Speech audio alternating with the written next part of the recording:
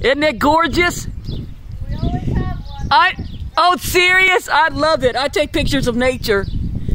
That is it's worth getting wet for, I'll tell you that. I got my feet wet. oh sure, of course.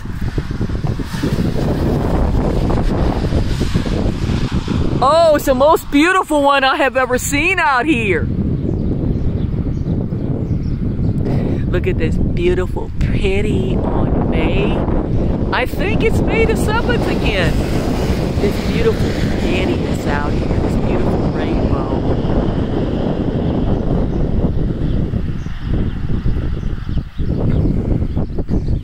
I love it.